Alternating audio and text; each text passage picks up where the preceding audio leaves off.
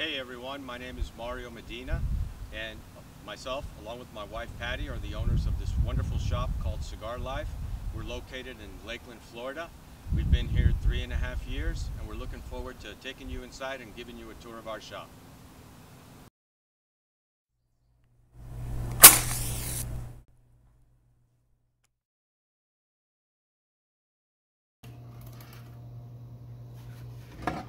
Remember to subscribe and like. Welcome everybody to Cigar Life. We're located in Lakeland, Florida, and we are at Diamond Crown Lounge. So I want to give you a quick tour of the spot where I'm at right now. This is the entrance to our store. We have a nice retail selection. We carry a lot of uh, wonderful accessories that you need for your cigars. Being a Diamond Crown Lounge, we carry many Diamond Crown accessories exclusive to us. There's only seven Diamond Crown Lounges in the state of Florida and 48 around the country. So we feel kind of special and very proud to have that relationship with the Newmans. We also have a robust locker program, and that program is 349 a year. You get 10 premium cigars when you come aboard. You get special uh, perks such as a standing 10% discount on all your cigar purchases, 15% off on all your box purchases. You get a renewal gift. You get a brass plate with whatever name or nickname you want on your locker. You also get put on a special list, and when there's special edition product, uh, whether it be Opus or limited releases, you get first dibs on that product before it ever hits the shelf. So welcome to Cigar Life's Humidor. My name is Mario, and I just wanted to share a little bit about what we do in here. So first thing, uh, temperature control and humidity control. We use a sonic system. Uh, amazing, amazing system. We have a five-stage reverse osmosis in front of that. Keeps the water nice and uh, clean. We run anywhere between 68 and 70 percent humidity and 70 degrees all the time. When you walk into our humidor, what you're going to find is that the perimeter is all the top 10 brands in the country, things you'd know like J.C. Newman, Fuente, Perdomo, My Father, etc., etc. And then in the center islands, what you'll find is some more obscure stuff. In this particular case, we have General here, but you'll find some more stuff sprinkled in throughout that you probably wouldn't see in other stores. So we have over 900 SKUs available and we pride ourselves on that selection. We keep it tight. Uh, as I mentioned in a previous comment, I come from the grocery industry, and in the grocery industry, once you get a new item on the shelf, you have about 13 weeks to keep that item moving and keep it authorized for customers to buy. So I use a similar philosophy here. Obviously, we can't do 13 weeks, but we run about six months. So if we did our due diligence and uh, promoting the item, giving it social media, having an event, creating some excitement around the brand. It's six months, it isn't moving, it's got to go. So every cigar pays rent. If you don't pay your rent, you get evicted. Hi everyone, welcome to Cigar Life. This is our bar. Uh, we have a great selection of soft drinks, craft sodas from uh, Wisconsin. Sprecher Soda, it's a small batch uh, soda company from Wisconsin made with uh, natural honey and real cane sugar. We've got a selection of Coke products, including Mexican Coke in a bottle. We've got a great selection of beers, uh, traditional, you know, uh, domestics, as well as a lot of craft beers. And we have a great selection of wines. So come down to Cigar Life and get yourself a nice drink and a great cigar and have fun.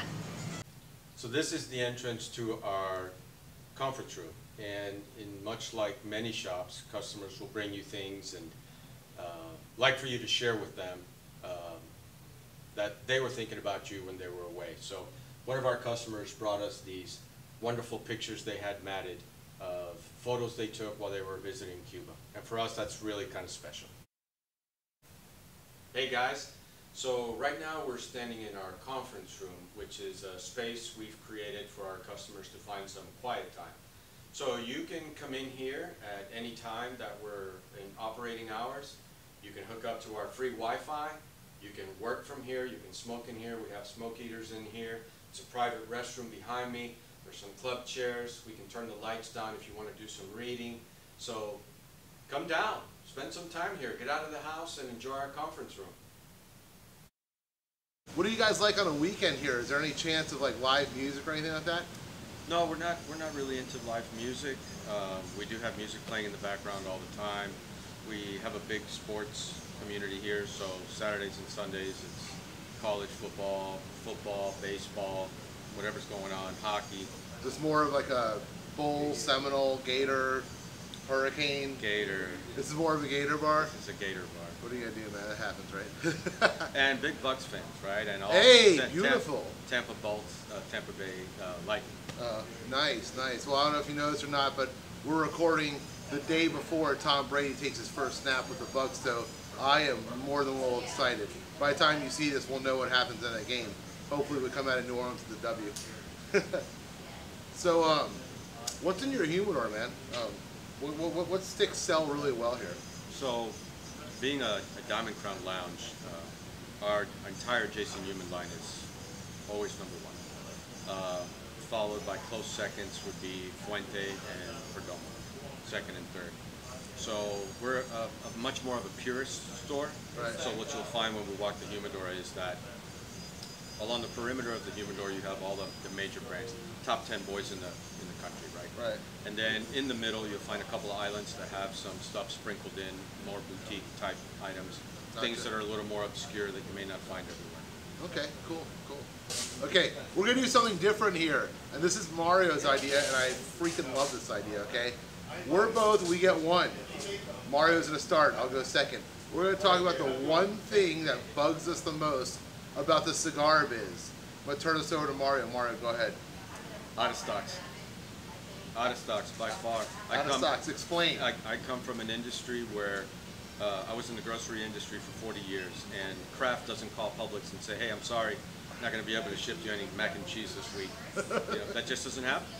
You Right, know, right. I, I, I think the cigar industry, uh, having visited, you know, multiple farms and been on multiple tours, the cigar industry doesn't. Uh, well, this is not a knock on any one person, but Sure, sure. and I'm not saying you know as a result of COVID either, but you know I don't think there's a forecasting model that allows for operations and supply chain and, and, and that whole forecasting mechanism to both one up to the other. So, you know, you, you, everything's humming along fine and then you're out of stock on an item for three months, right? Right, and then you want to know why sales are down on that, that item when it comes back in stock. Well, that customer moved on. Three months is a long Yeah, time. yeah, yeah. It's, it's a moving train. Yeah, absolutely. Yeah. And you're either on it or you're off. And by the time you're done, a customer's moved on or tried something else, and now they're on to something else. Right, right. So, you know, uh, that's that's the first thing. The, the, the second component of that that that chaps my ass is transparency. So, in, in my in the industry I used to be in, you you had to if you had an, uh, an out of stock and you needed to communicate to Publix, you better have a clear understanding of what it is that caused the out of stock, Uh-huh. what was the root cause of it, and what you're doing to, you know, eliminate that root cause from happening again, and when do you expect to be back in stock? That that level of communication doesn't exist in the cigar business. Now, I would have never thought of that. He's he's hitting me with something that I've never heard before. Absolutely. I've heard about it, but I've never heard about it as like a as like a thing that pings you. You know. well, because listen, if I, you know, I, I understand that I may be the, the exception. Not that I'm special or anything like that. Just having the background that I have, Right. bringing that to the cigar industry, is is is, is maybe I don't know, a stretch, right, in some people's eyes. But I think the game needs to be elevated all the way around. That bar needs to be raised, right? You, have to treat it like a business. I understand it's organic and there's rainfall and different things that affect. I mean, I'm not talking about acts of God. I'm talking about giving me an opportunity to manage my customers' expectations so that I can explain to them and manage the out of stock at my level before they move on to another product. I've, I've met a couple guys like you that bring like incredible business sense from, you know, wherever they were in the private sector beforehand, and then they come into the cigar business, they own a lounge, and they bring a lot of that here, and it makes the place very successful because you think differently. You're like, I'm here for pleasure, I'm here for, you know, this is my big toy, my cigar, but it's also a business. I'm not a hobbyist, I'm here to make money. Right, exactly. yeah. No, and I understand that, you know, I've seen now that not everybody treats their lounge like a business, right? Some guys are just in it for fun. I get that. But at least communicate to the people that are committed to your brand and dedicate the space to your products Right. the opportunity to manage expectations from the customer side. Okay, I'm gonna give you one my big beef right here, okay?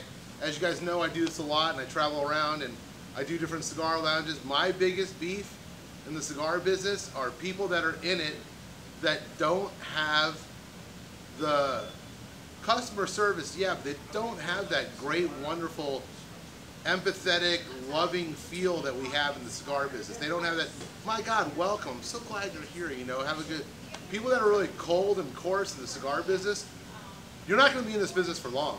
Because that's not why people, you know, light these things up and pour a glass of whiskey or a beer or whatever.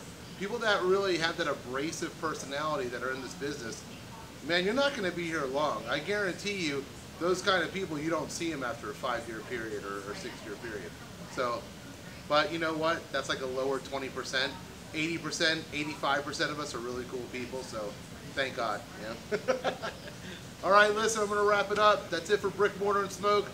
We're at Cigar Life here in Lakeland. I don't know if you know about Lakeland. It's kind of halfway between Orlando and Tampa, and it's right off of I-4, so come by and see this place. You absolutely will not be disappointed. This place instantly just jumped on my top five favorite cigar lounges on earth. Thank you for having me here, my brother. Thank you for being here, brother. Yeah, it's been a pleasure. All right, you guys, we're out.